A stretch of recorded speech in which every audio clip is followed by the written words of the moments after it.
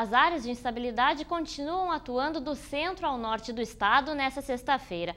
Por isso, as temperaturas se mantêm amenas nessa área. Nas demais regiões, o tempo volta a abrir. Ainda chove em Porto Alegre, na região metropolitana, máxima de 24 graus. Dia chuvoso também no litoral norte, faz 23 graus em Tramandaí. Pancadas de chuva no noroeste gaúcho. Em Ijuí, o dia começa com 15 graus. E já na campanha na fronteira oeste, o sol volta a abrir entre nuvens. Faz 27 graus em Santana do Livramento e 28